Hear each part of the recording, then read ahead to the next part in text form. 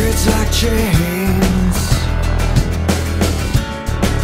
Rattling loud enough and someone will ask.